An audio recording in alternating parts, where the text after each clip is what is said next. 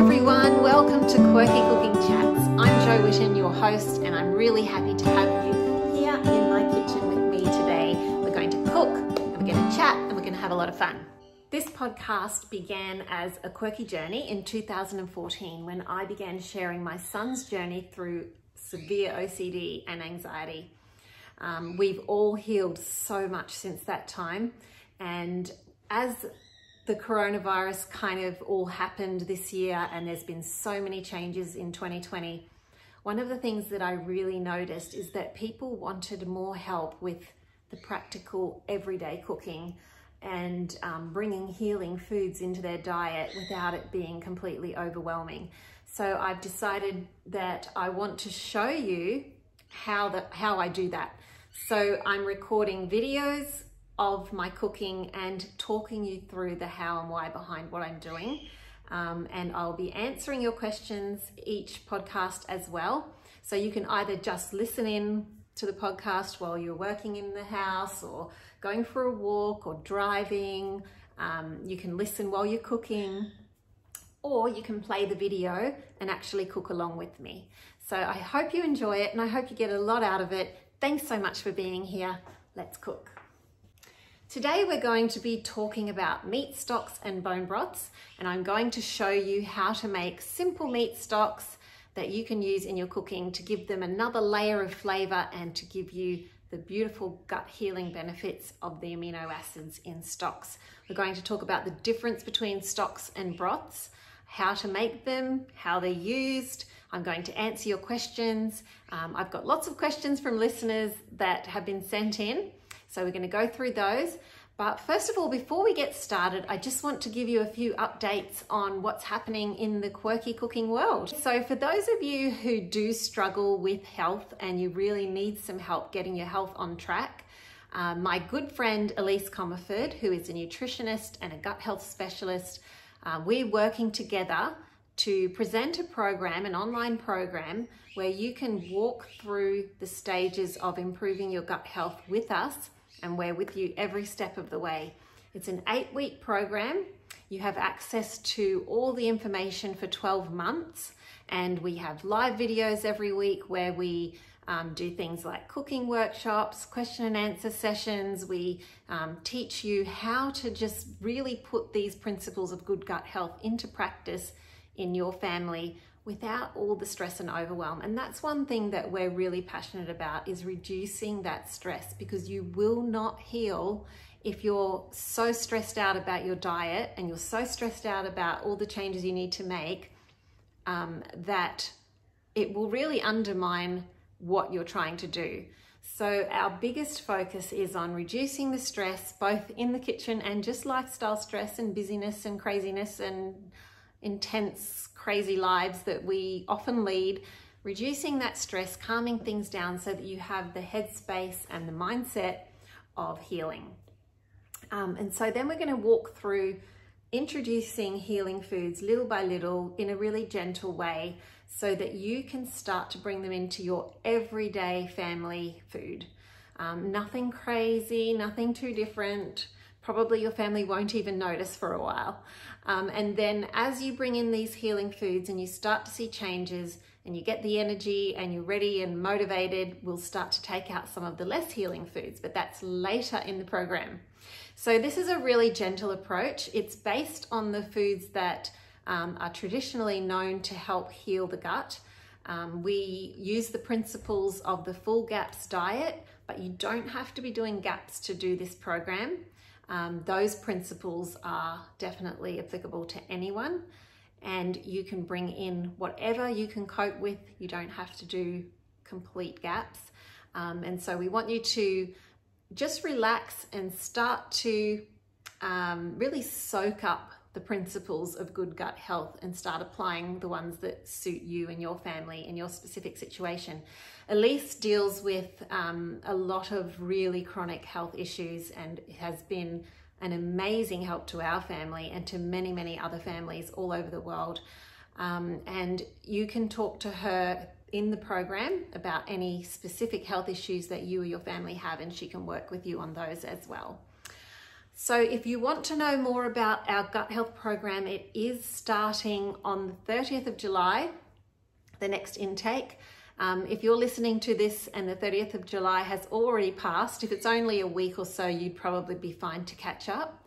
Otherwise, we will have another intake later in the year. Feel free to email me at help at quirkycooking.com.au to ask any questions you have about the program, and you will find the link in the notes below. All right, let's start cooking. So we're gonna make two types of stock today. I like to keep stock stocked up in my freezer. um, and I like to have beef and chicken pretty much on hand at all times if I can, because I like to use them as a foundational part of a lot of my recipes. So you get beautiful flavor from a short cooked stock, from a meat stock. Um, and it's a great foundation for a lot of meals. Um, you don't have to use fancy ingredients and you don't have to um, you know, fuss around a lot in the kitchen if you've got good basic ingredients and a nice tasty stock. So that's one of the reasons I make stock and we're going to talk about other reasons later in the podcast, but let's first of all get started. So here I have some bones. Now these are beef bones and you can see that they're still half frozen. Um, they have meat on them, so that's what you want. You don't want bare bones that have been already roasted um, for a meat stock. You want raw meat on the bone. Um, so a couple of centimeters of meat on the bone is good. Get a few of those if you can. Also get some marrow bones. You can see that marrow in there is quite thick. The, the thing about marrow is you'll get a lot of flavor with that marrow, but it's also something that's just really nutritious. And we're gonna talk about that in a minute as well. Um, and then you want to get some knuckle bones in there if you can, because then you're going to get that beautiful jellyish stock from the um, gelatin in the bones. All right, so I, I'm using, for a six litre pot, I'm using three big meaty bones, one marrow bone, and one knuckle bone. But honestly, just use what you've got. If you've got um, oxtail, or ossobuco, those will work as well. And you don't have to worry with a meat stock. Um, you know, when you're making a bone broth, you cook it to death and so it ends up with this rubbery meat that you can't actually do anything with.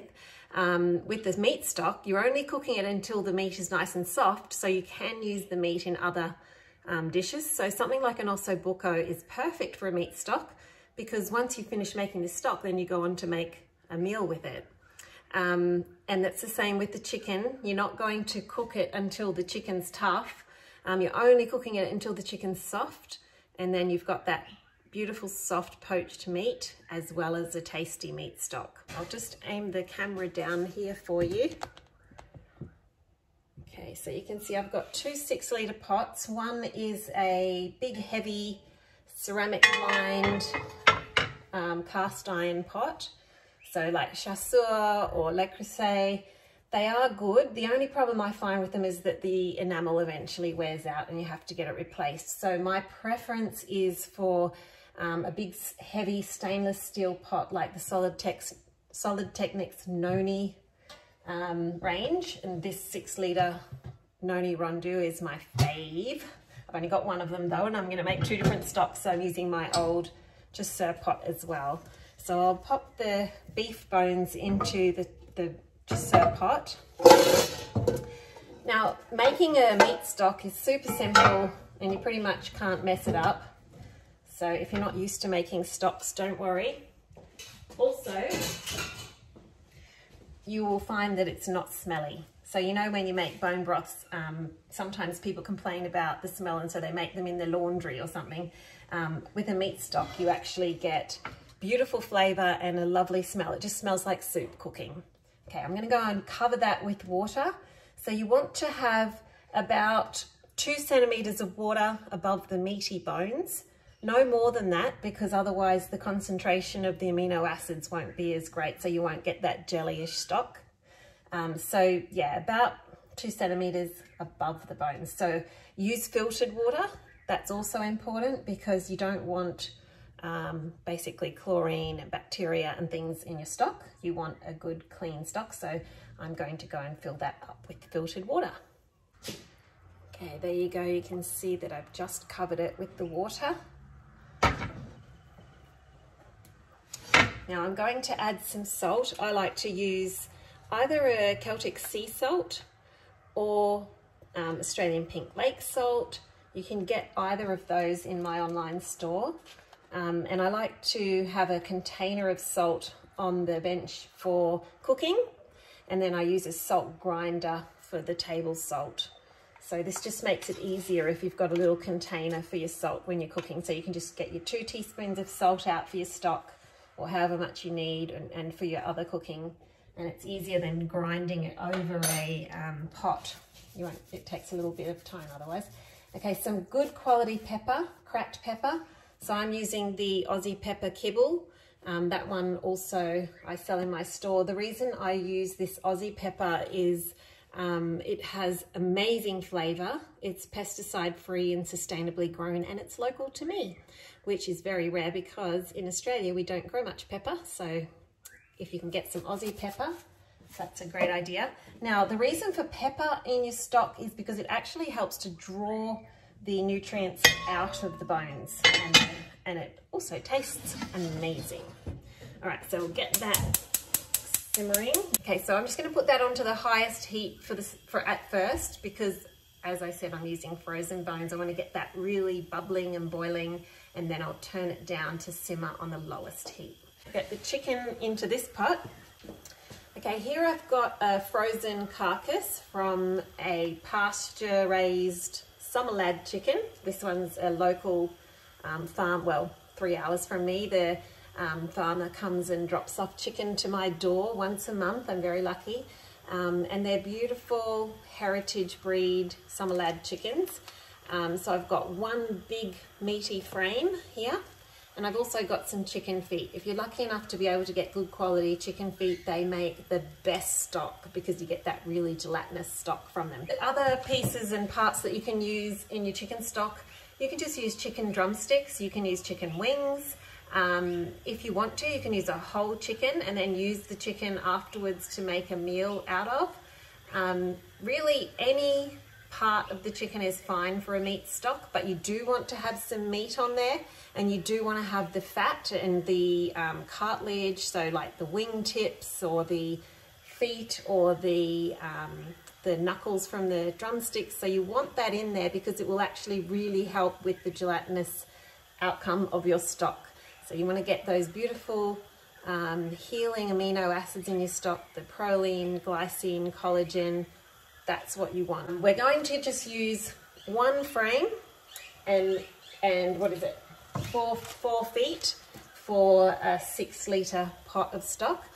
Um, but I do quite often make it with a whole chicken and I'll also talk to you about how to do that and how to use it afterwards. So I do have a tendency to cook from frozen when I'm making stocks. It's just heaps easier. Um, generally don't remember to thaw them out, but that's okay. As long as you bring it to a boil, at a rolling boil, and then turn it down to a simmer, it's fine. With the whole chicken, I wouldn't put that into a slow cooker frozen and start it because it's cooking at too low a heat. Um, so that could be um, not great for the bacteria could be um, multiplying inside it. So you want to bring it to a boil and have it at a rolling boil for a few minutes and then turn it down. Right, so I'll just go and pop some water in there. I'll just show you this. Um, I haven't quite covered the carcass with water because um, I'm only using one carcass and four feet and, the, and there's like three centimeters of water over the feet. So I kind of just average it out, you know, like um, approximately covered. Because if you put too much water in there, um, you'll end up with a watery stock. Some pepper in this one. And some salt.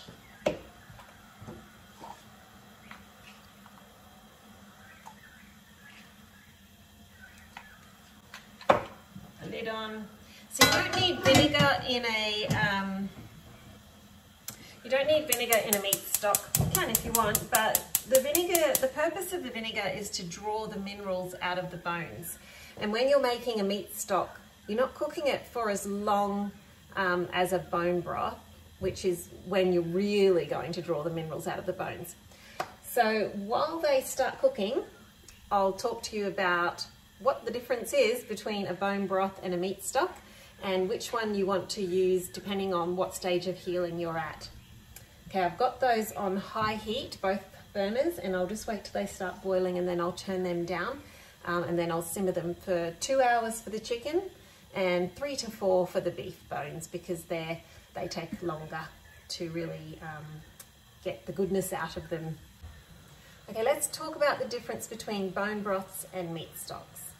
Bone broths have had a lot of attention in the last few years as a gut healing superfood.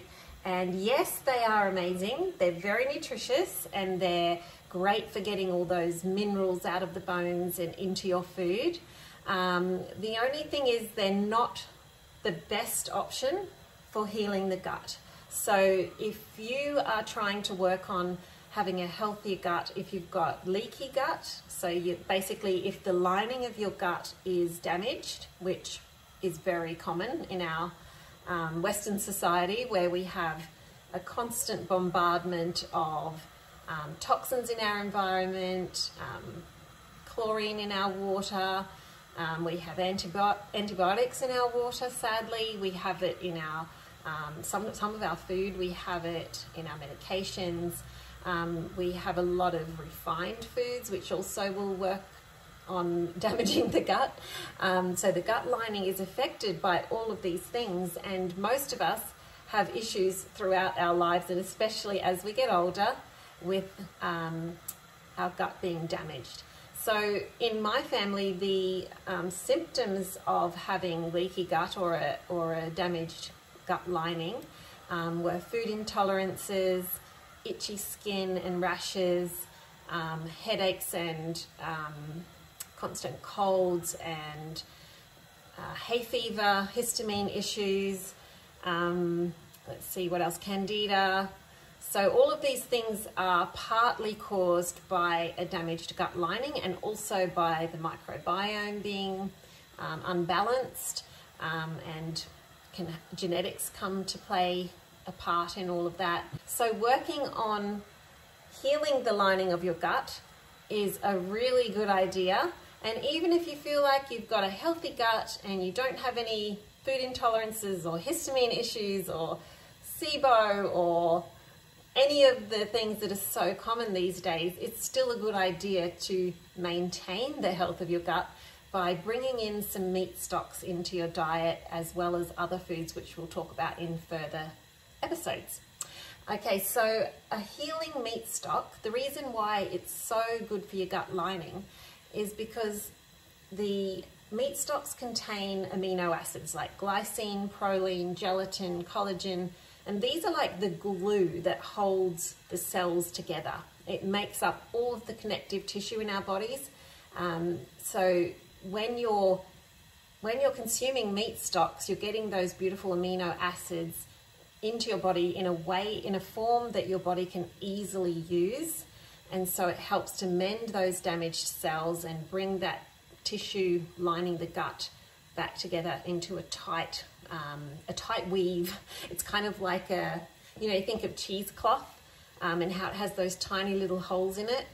Um, it is meant to be like that, the lining of the gut, but the, the holes are supposed to be really tiny. And so if it's torn, it's like a tear in the cheesecloth. And then um, proteins can escape from your bloodstream into that, sorry, from your gut into your bloodstream through those torn little places in your in your gut lining and then your body can react to those proteins because it thinks oh it's an invader. It's not meant to be here. And so it attacks and so then you may have the food intolerances and the food reactions and all sorts of things going on there. So the the meat stocks have the amino acids which help to heal those damaged tissues. Um, so to the difference between a meat stock and a bone broth when you cook a bone broth for a long, long time, so eight hours, 12 hours, 24 hours, 48 hours, um, sometimes they're cooked for a very long time, those delicate amino acids like proline, glycine, collagen, they actually break down and, and dissipate in the stock and you don't have as much of those. You have more of the minerals and you have more of the gelatin that's drawn deep out of the bones, but it's not the same as the as the um, short cooked stocks. It's not the same amino acids and it's not as healing for the gut lining. So when you're just starting on a gut healing diet, it's important to have the easiest to digest foods because your body needs to be able to quickly use them to start healing um, and not have to work as hard. Um, so you want to have a really short cooked stock so that it's very easy for your body to, to make use of. Um, later, when you've healed a lot, um, you can go back to bone broths if you want to. You can start buying those um, bone broth concentrates, which is super handy to have in your fridge and you just want to add to a meal here and there. But if you're just in the early stages, it's better to have meat stocks. And really, it's not that hard to do. If you work, you can come home from work at the end of the day, pop a meat stock, on. It'll be cooked just after dinner time cool it down quickly in a sink of cold water, pop it into containers and freeze it, and it'll all be done before bedtime. Um, or you can um, do it on the weekends, get some stock made and get it into the freezer. So it's not difficult, and I always try to have some on hand. And as I mentioned at the start of the video or, or the podcast, depending on which one you're listening to or watching, um, it really does taste better to have a short cooked stock. Um, I know when I first started making bone broths, I was adding all sorts of veggies and herbs and um, everything to try and give it a good flavor because it had that funny wet meat. I don't know, it was a weird, yucky taste sometimes, especially the beef broth. And then it had this big layer of fat on top and it was just not very appetizing unless you flavored it with garlic and herbs and veggies and everything. But meat stock honestly is so delicious that even if all you put in it is salt and pepper, it still has beautiful flavor.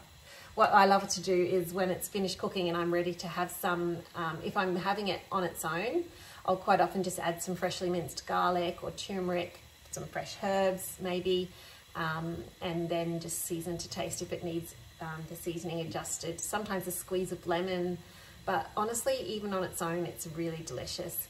Um, it tastes like chicken soup, the chicken one, um, and it doesn't smell odd. Okay, so when you're um, just starting to make your stocks, you do want to look for good quality meat. Um, as as best as you can, you know, I know not everybody has access to really good chicken um, like I do. I'm very lucky to have um, such a great um, option to buy locally. And I know not everyone can get organic beef, but as much as you can get pasture raised animals who live that live as close to nature as possible because the way that an animal is raised and their health actually will affect the health of the food that you're consuming. Um, for instance, if you have, turn that off, um, for instance, if you are eating grain-fed beef, I'm not sure if you understand the difference between grain-fed and grass-fed, but just for a short explanation, um, grain-fed beef has a completely different ratio of omega-3s and omega-6s. These um, fatty acids are really important in our bodies, but the natural ratio is only, I better check that, Okay, so the difference between, between grass-fed and grain-fed beef, um, as you probably know, we do need good quality fats in our diet. It, it's brain food, it's um, food for our hormones, it helps us to digest the nutrients in our vegetables, um, and the essential fatty acids um, that are in food, they're named that because they are required in the biological process in our bodies biological processes. And um, as opposed to fats for storing and providing energy, they are used in bodily processes. So um, omega-3 and omega-6 fatty acids, I'm sure you've heard of those, um, they are really important, but the balance, the ratio of these two fats are really important. So a natural diet from like the kind of diet that our um, ancestors have eaten for thousands of years um, has a natural ratio of about um, 1 is to 1, omega-6 and omega-3. That's what it should be. That's the ideal. So grass-fed cattle, um, when they've tested the, I'm just going to turn these down because they're starting to simmer now and I don't want them to overflow.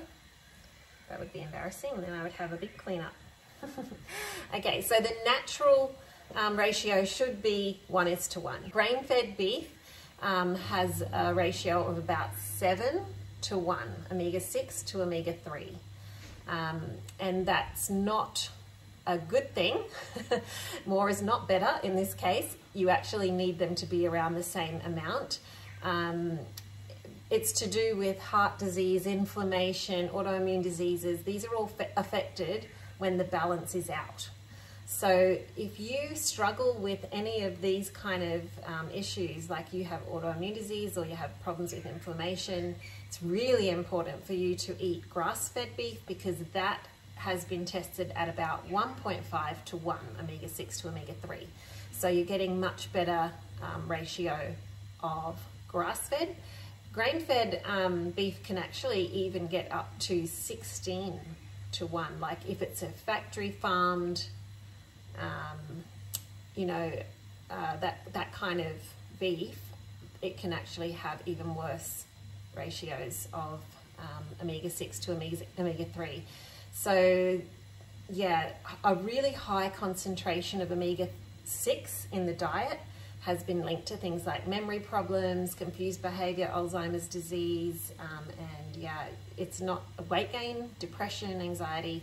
So um, it's not actually uh, a great thing to have a lot of omega-6s in your diet. You want to keep that ratio as close to the omega-3 ratio as possible.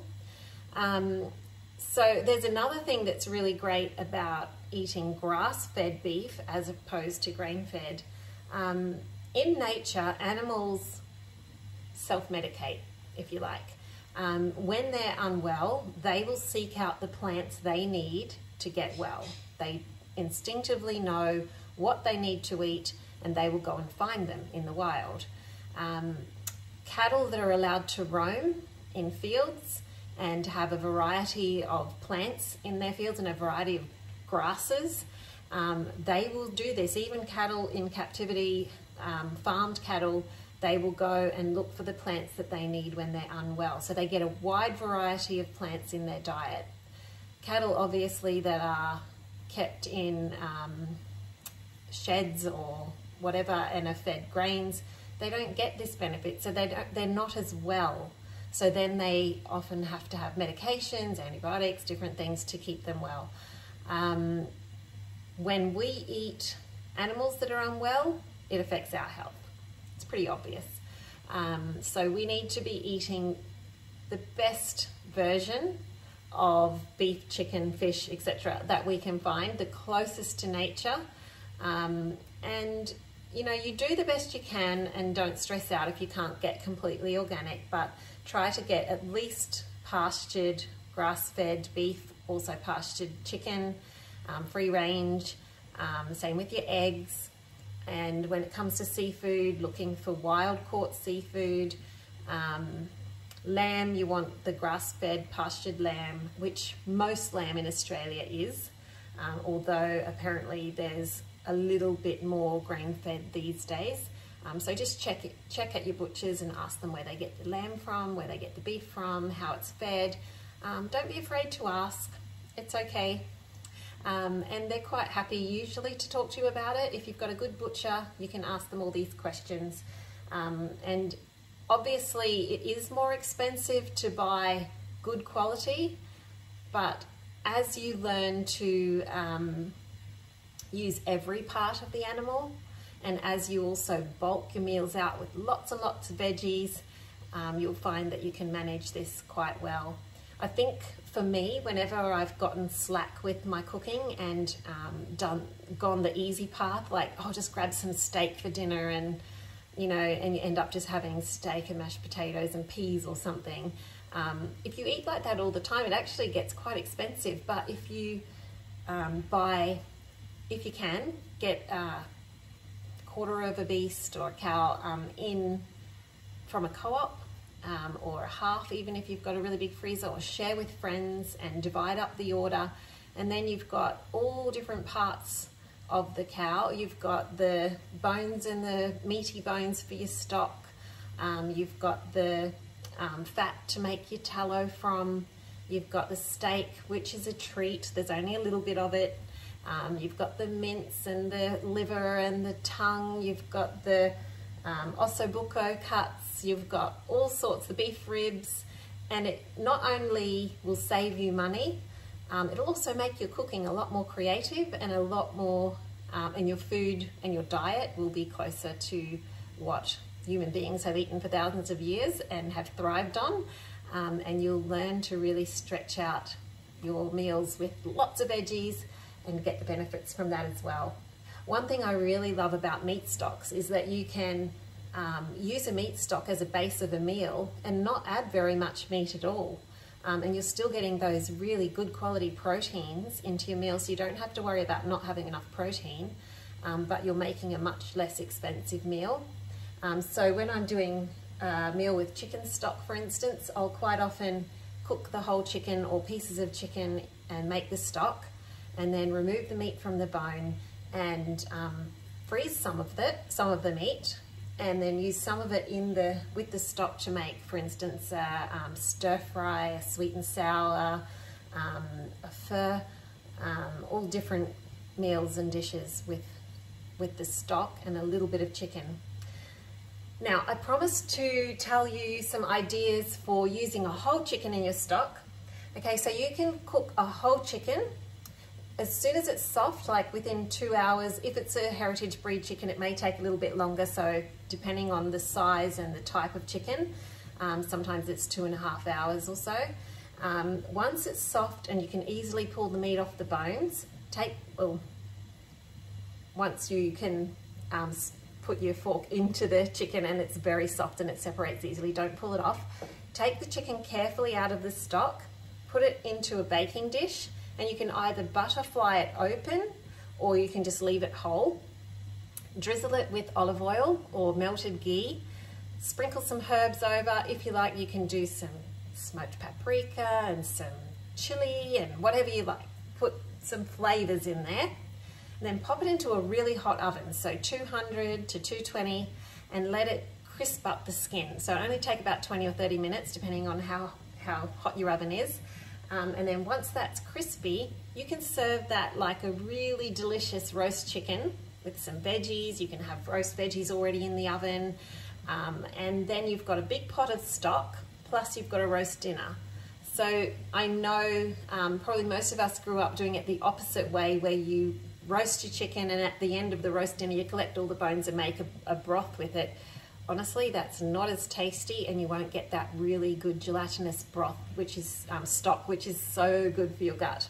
So start do it back to front do it the quirky way and um, start with making the stock and then roast your chicken and you'll get a great result. You'll love it because the meat is so soft from being poached and then the skin is all crispy and then you've got this beautiful delicious stock to use as well all right, so I will be back later to show you the end result and give you some more ideas for ways to use your stock. Okay, I'm back. It's been a couple of hours, so the chicken stock is definitely ready. I'll show you what that looks like. So you can see that chicken stock has reduced a bit. The level was, oops, the level was probably about here when I started. Um, one of the secrets to making good stock is to let it simmer on really low heat with a good heavy pot and a well sealed lid. Otherwise you'll lose a lot of the liquid into evaporation. Just make sure that the bones are mostly covered with water so you may have to top it up now and then if you've got a pot that a lot of liquid escapes out of um, via steam. You can see, here we go with the, the beef stock. So it hasn't really evaporated very much. Oops, can you see that? Not really. okay, so there's the beef stock. I know that doesn't look pretty. It has got a fair bit of fat in there, but don't worry because if you end up with a thick layer of fat on top, you can use that fat in cooking. So I'll show you those once they're completely finished. So the kind of dishes that I use for storing my stock are these glass dishes that are great for fridge and freezer. Um, they have all different sizes, different brands. Some of the ones that I use are Glasslock, Pyrex, Dacor. So you've got the glass dish with the plastic lid and they stack in the freezer. Um, just when you make your stock, just cool it down really quickly in a sink of cold water. Sit your whole pot into a sink of cold water, cool it down, and then decant it into your dishes and then pop those straight into the freezer. That's the best way to store your stock because if you just leave it in the fridge, for one thing, you'll probably forget about it, which I've done many a time and then had to throw it away, which makes me want to cry. um, but it's also a problem if you've got gut health issues, you probably have some issues with histamines. And so if you leave your stock in the fridge for days, the longer you leave it, the higher the histamine levels. So when you make your stock, the best way to do it is to quickly put it into containers, get it in the freezer, and then it keeps the histamine levels low. Now, I know a few of you have asked about histamines. Um, if you do have histamine issues and you need a low histamine stock, the best meat to use is lamb. So you'll get a lower histamine stock with lamb. Don't use fish. Fish is the highest in histamines. Um, so use your meaty lamb bones, lamb shanks, things like that. Only cook for about three hours, uh, just until the lamb's cooked. And then take the stock, cool it quickly in the sink. Like I mentioned, just put your whole pot into the sink of cold water. Pour it into containers that will be serving sizes. So maybe like um, two cups is probably good. Um, and then straight into the freezer. So that will help to reduce the histamine levels. Also, if you are just beginning on a gut healing diet and you're um, struggling with histamine issues, you probably will need to bring the stock in very, very slowly. It's a really powerful detox food. So it will cause reactions for those with really bad histamine issues, so you'll need to start very slowly. But it is important to start because the stock and the fermented foods really help to heal that gut lining and rebalance the microbiome, which means you will be able to, um, little by little, be able to um, handle more variety, a wider variety of foods, and um, your histamine issues will decrease as you heal. So even though it's difficult to bring in the stocks, um, start really slowly, even if it's a one drop of stock with your food, in your food, um, and just slowly add more until you're able to cope with it. If you do have a difficulty with histamine issues, it's probably best to get some help from a gut health practitioner first um, so that they can keep an eye on you and help you with bringing in all these foods, healing foods in slowly and carefully um, at a rate that suits you. But some people have to start as slowly as one or two drops of stock in a, in a meal or in a cup of water um, every few days if they're really sensitive. Most people are fine and can just eat stock just like you would have soup and they won't react. But if you've got really bad histamine issues, you need to go really slowly. So if that's, if that's you, talk to your practitioner. If you need help and you need a practitioner to talk to, um, the one that I work with is Elise Comerford and she's really good with helping people work through those histamine issues and those food reactions.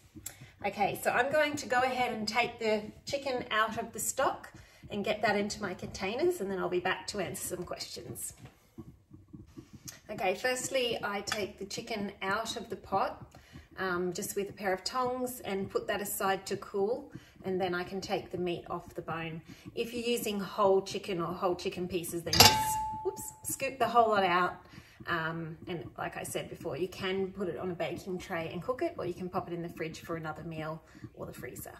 If you're going to freeze the meat or the pieces of chicken or beef that you, or lamb that you've taken out of stock, add a little bit of stock over the meat so it just keeps it moist in the freezer and then you can use that stock in another meal as well.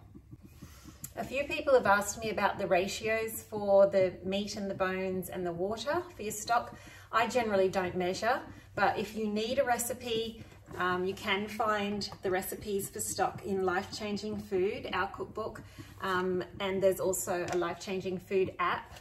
So you'll see that there's um, recipes for chicken stock, There's recipes for beef, lamb and pork stock, and there's recipes for fish broth.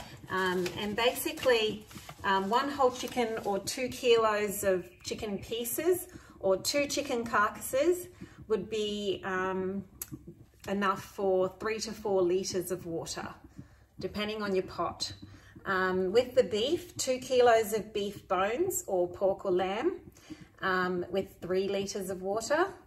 And for fish broth or, or stock, one kilo of fish heads and bones to three litres of water. So that's your basic kind of ratio, but like I said, I don't really measure. I just kind of um, cover the, the meat with water and hope for the best. Okay, now um, I'm going to leave the beef for a little bit longer because it needs longer than the chicken and I'm going to answer some of your questions that have been sent in. So firstly, someone has asked um, which do I use, meat stocks or bone broths? Um, so I think I've answered that earlier on, but just to recap, the meat stocks are the most healing food for healing the gut.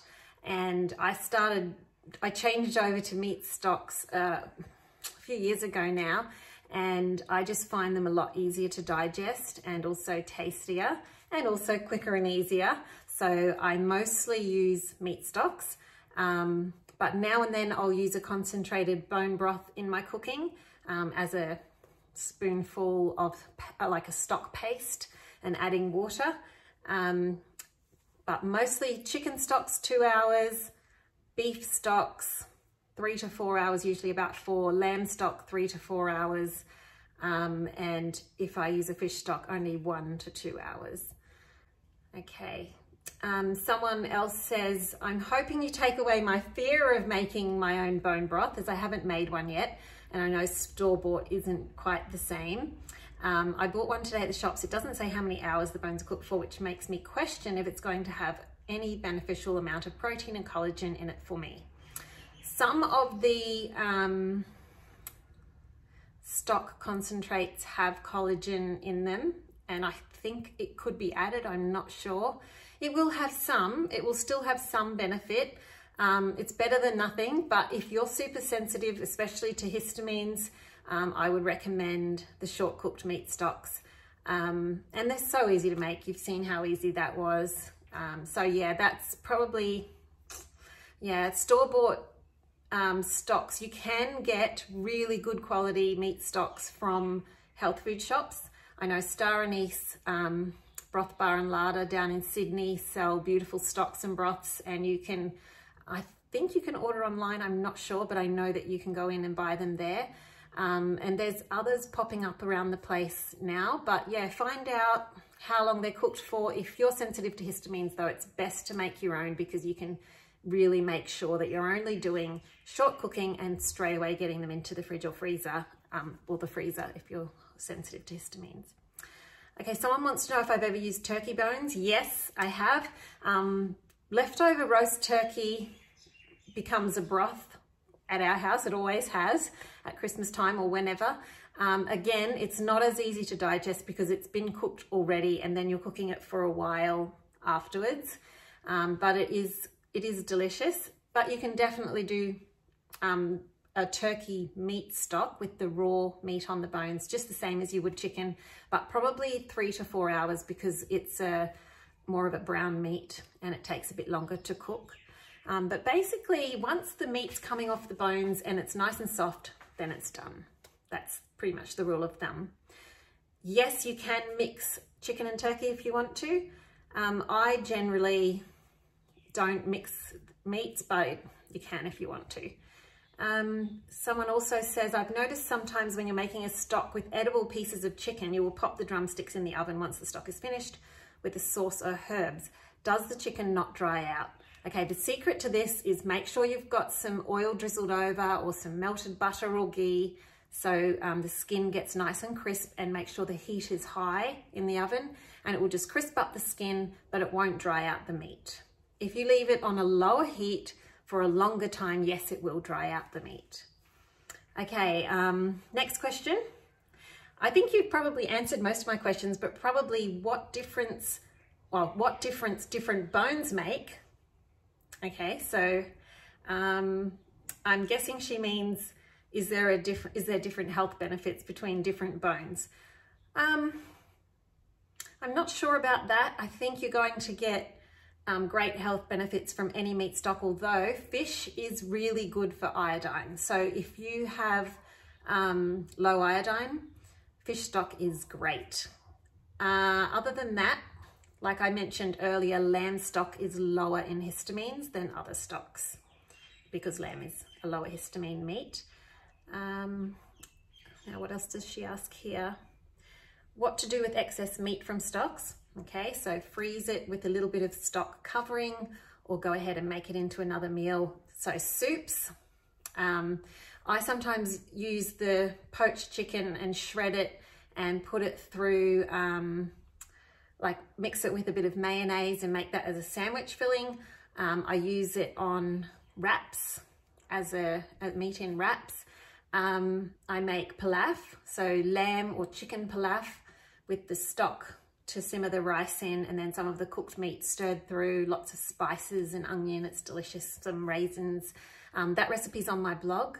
If you just search Quirky Cooking Chicken Pilaf, it will come up. Pilaf is spelled P-I-L-A-F, if anyone's wondering. Um, that one is really delicious. If you go onto my blog, I'll put the link in the show notes, but if you go onto the blog, there is um, a post on broths and stocks with lots of ideas for recipes there as well. Okay, um, using carcasses versus meat on bones. All right, so if you're just using a carcass, you won't get a very jellyish stock if it's just the carcass. Um, the flavor will be nice, but you won't get a lot of that gelatinous goodness. That's why I put the chicken feet in with the carcass or wings or some chicken legs, something that's got the cartilage and the um, connective tissue makes a really good stock. Okay, I want to start incorporating and using stocks and broths and I know that I'll have to make some adjustments to how or what I cook, but I'm excited. Yay, I'm excited too. okay, someone else asks, is there a good vegan broth? This is um, a bit of a tricky question because Sure, you can make vegan and vegetarian broths and stocks and they're very delicious and you can put all different mushrooms and vegetables and get that beautiful flavor um, base to base recipes on. And there's lots of recipes online for that. Um, so if you're just looking for flavor, yes, there are vegetarian and vegan stocks and broths. If you're looking for the gut healing benefits, you're not going to get a truly gut healing broth or stock from vegetables. Vegetables are great for cleansing. They're, they're just, their job is to really clean out ourselves, to detox our bodies, um, to feed us the nutrients from um, plants, but they're not great for um, healing cell damage because they don't have the amino acids that meats have. Um, so we really need um, we really need meat stocks for healing a damaged gut lining because those amino acids that we talked about earlier, proline, glycine, collagen, um, they are the glue that mends the cells and um, helps those tissues to really um, close up and be tight again. Um, if you are relying just on vegetables, you will find it very difficult to heal the gut lining, but have a chat to your gut health practitioner about it and um, see what they say. But basically a gut healing stock is based on meat and bones. Okay, so do different meats have different benefits? Oh, we talked about that, sorry. Um, okay, some different cuts of meat and bones to use. Um, we didn't really talk a lot about lamb. Lamb stock is one of my favorites. Whenever I, it's funny, whenever I go away and travel, when I come home, I crave lamb stock. I don't know what it is, but um, I usually, my favorite, favorite stock is when I make it with lamb shanks.